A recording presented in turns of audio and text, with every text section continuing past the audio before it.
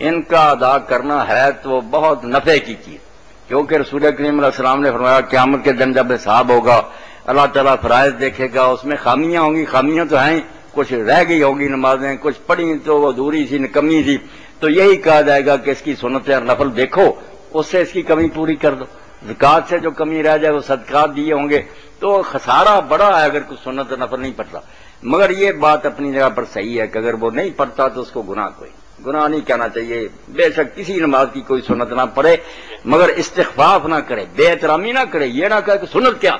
ऐसा कहेगा काफिर हो जाएगा। फिर पढ़ना ना पढ़ना तो इस्लाम से निकल जाएगा। कॉल करने मानने कॉल करने का बहुत ज़्यादा शुक्रिया।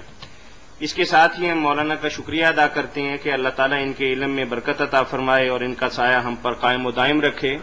फतावा ऑनलाइन ये प्रोग्राम रोज़ाना मरकज अल हरमैन अल इस्लामी सत्याना रोड फैसलाबाद से रोज़ाना शाम साढ़े चार बजे से साढ़े पाँच बजे तक पेश किया जाता है। ये प्रोग्राम आप रोज़ाना दी सिग्नल्स केबल नेटवर्क पर देख सकते हैं। आप बरह रास्त भी सवाल कर सकते हैं और फ़ोन के ज़रिए भी सवाल कर सकते हैं।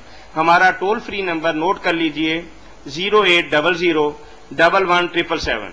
हमारा फ़ोन नंबर दोबारा लिख लीजिए, सिफर आठ, सिफर सिफर, एक एक, सात सात सात। फतावा ऑनलाइन के साथ आपका मेजबान मियाँ ताहिर आपसे इजाज़त चाहता है। अल्लाह हाफिज।